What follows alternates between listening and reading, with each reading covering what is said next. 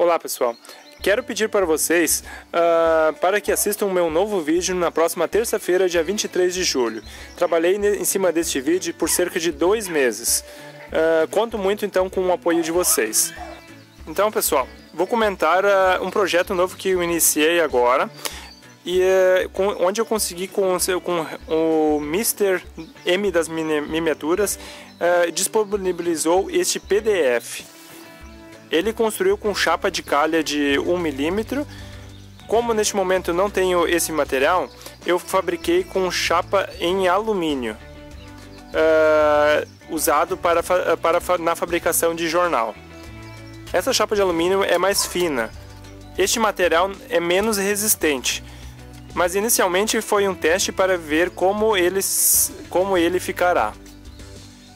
Pretendo futuramente quem sabe, instalar um dos meus futuros motores que eu irei apresentar para vocês neste vídeo, um futuro projeto.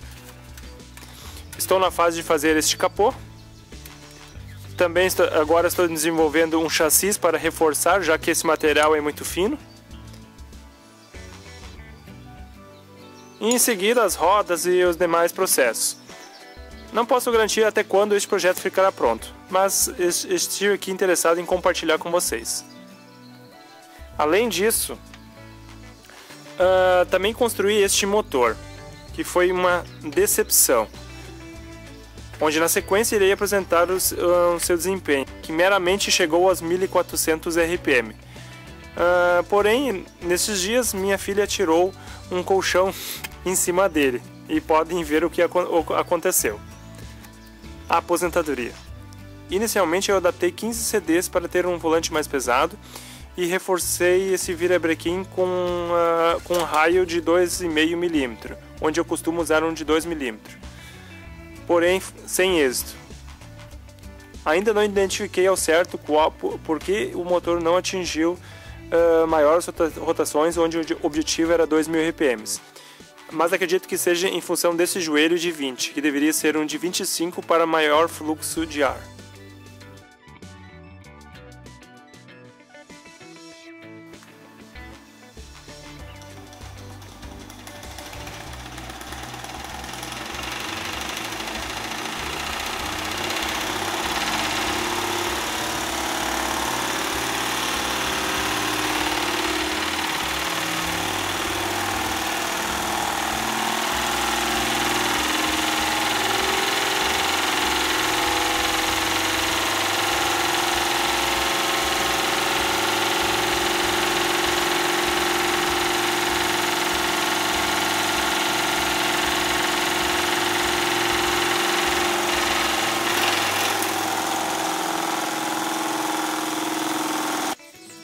Como podem ver, já estou separando um material para a confecção de um novo motor Stirling modelo Alpha.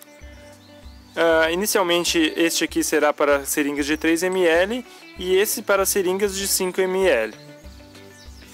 Será um novo estilo de fabricação que eu pretendo confeccionar. Aqui estou em mãos uma seringa de 5 ml, porém ela está travando porque ela foi usada para medição de tina. Além disso, também tenho essa seringa de 3 ml e também terei que fazer alguns reparos para ver se a mesma perde esse atrito. Os seus devidos tubos de ensaios, que será o cilindro quente. Duas peças de toca-fita que farão parte do virabrequim e dois cabeçotes.